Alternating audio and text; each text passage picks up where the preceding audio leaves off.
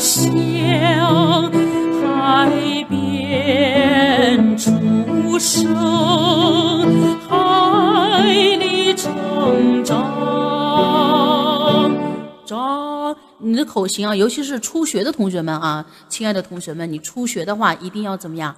一定要把嘴先竖起来，把你里面的这个腔体打开，因为我们平时说话，以及你在唱流行歌的时候，都根本就用不着打开里面的这个内口腔，用不着打开。比如说，我我现在给同学们说，啊，大家晚上好，非常欢迎大家来到老师的直播间，请大家把四部曲持续做起来，对吧？我只要张开这一点就可以了，我没有必要说大家好。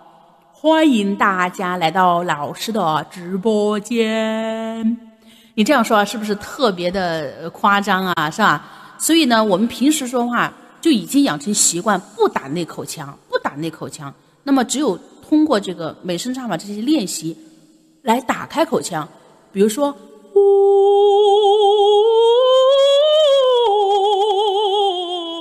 你才能打开。那平时不唱歌的时候就不打开了，是不是啊？所以我们这个唱歌的口型和平时说话的口型和腔体的运用都是完全不一样的，所以同学们一定要那个啊，一定要注意了。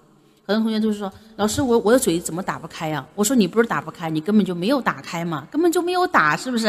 哎，所以一定你不会说，同学们好，我总不至于这样说话吧？嗯，所以同学们好，哎，张一点点你的嘴就可以了。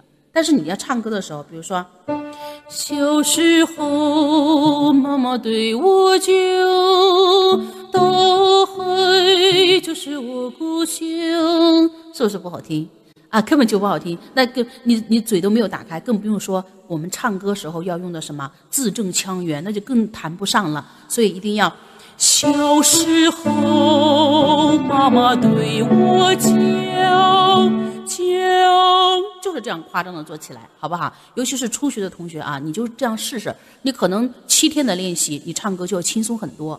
嗯，不信的话，你一定要试试啊。学了美声民族呢，你再唱流行，那就是太容易了，真的就是小菜一碟儿哈。因为美声唱法，它的通道非常容易打开。